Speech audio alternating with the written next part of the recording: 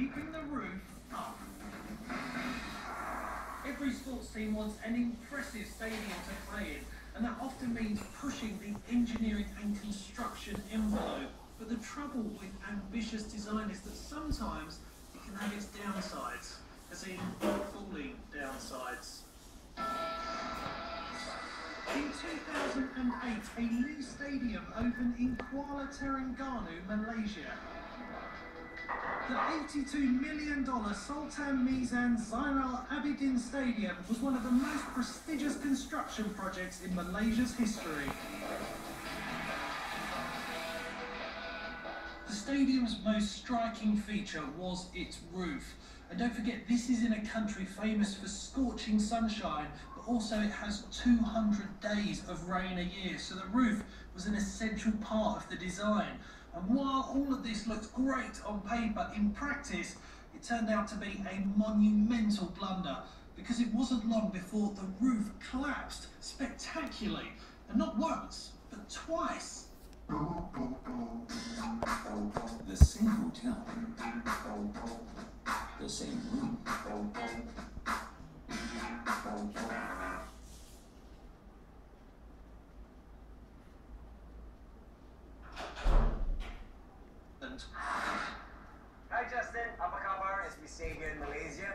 heading over to Sultan Mizan Zainal Abidin Stadium. Now, when the news of its roof collapsing first came out in 2009, everyone was so shocked and surprised. So to have it happen second time just a few years later, well, that was just really embarrassing. So for the longest time, I've been wondering what actually went wrong. The 50,000-seater stadium was the pride of Terengganu State and even hosted the 2008 Malaysia Games. But just a year later, catastrophe struck. Two-thirds of the 300-metre-long roof collapsed. Alright, Justin, I'm on foot now. It's almost as if someone took a saw and just sort of like halved it and removed the entire top off. Officials are reluctant to discuss it, so Hanson's tracked down a local journalist who saw the destruction firsthand. Okay, Justin, I'm joined by Mr. Made. He's one of the first few reporters who arrived on the scene. So, what caused it? dikeluarkan termasuk uh, reka bentuk bumbung yang tidak memadai untuk menyokong bumbung uh, stadium dan juga uh, satu jajaran maknanya bumbung itu tidak mengikut jajaran geometri yang sebenarnya Right, okay. So a design error was partly to blame for the collapse, but that wasn't the only blunder. An official report also pointed the finger at poor construction. A bad combination for the way this roof design works. Like many self-supporting structures, this stadium roof was held up by nothing more than a space frame. And this is a really common technique used throughout the engineering world. It's basically made up of a series of triangles that are interlocked together to make up some sort of framework. And the reason they do this is it's really strong and really rigid. But the trouble with this sort of design is all you need to do is remove or weaken a couple of the triangles and the whole thing becomes weakened. And if you imagine this is happening to the Malaysia Stadium, well, it's catastrophe, isn't it? The trouble is the stadium's space frame roof was anchored onto individual concrete beams which were too weak to support it. Add to that, builders who didn't weld the triangular sections of the space frame together properly, and bang, the whole caboodle comes crashing down. If it had happened on a match day, it would have been a catastrophe for fans like Ami and his friends. Bila you sudah tahu macam mana anda rasa? Oh, very sangat terkejut lah. Ah, ya, rasa- kita tak menyangka yang stadium yang baru dibina Thomas, stadium tu pun dah pakai pun dah tiga kali lepas umat tu dia tu, tu rasa macam terbilang lah. But that's not all. In 2013, workers were well into the stadium repairs when disaster.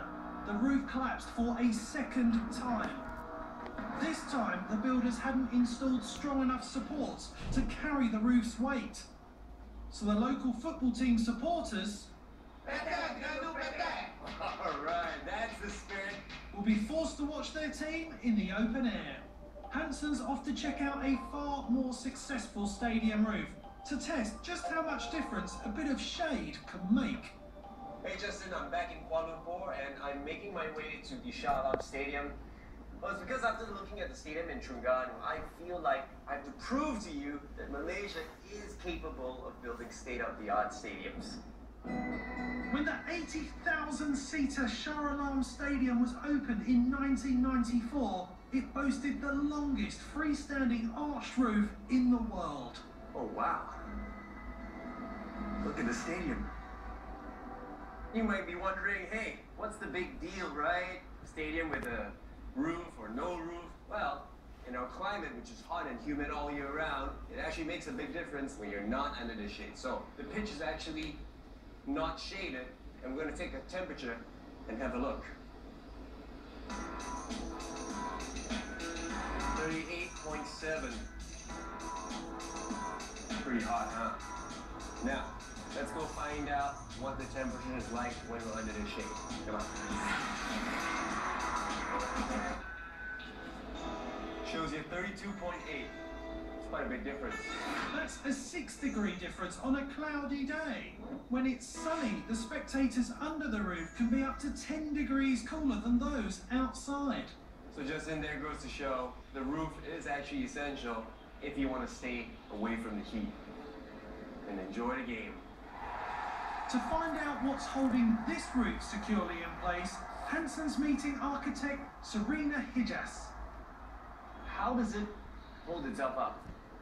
Well, what you see on the roof here is predominantly a space frame structure that's uh, arching from one end to the other. There's about 74 of these ribs that go across. Uh-huh. They are actually working structurally also in To tandem, yeah, in tandem with the space frame, and it basically makes it a lot stiffer. The Shah Alam Stadium roof has a space frame structure just like the stadium at Terengganu. Except here, the steel space frame is anchored into sturdy concrete and stiffened by a series of ribs. This record breaking roof isn't going anywhere and proves you need both good design and excellent construction. So there you have it, Justin. I really like this space. The stadium really needs a roof in our climate. I mean, it's hot, it's rainy all the time. So, I don't know. I do hope that they reconsider at some point to build a roof for the stadium in Terengganu. But I think my duty is done here.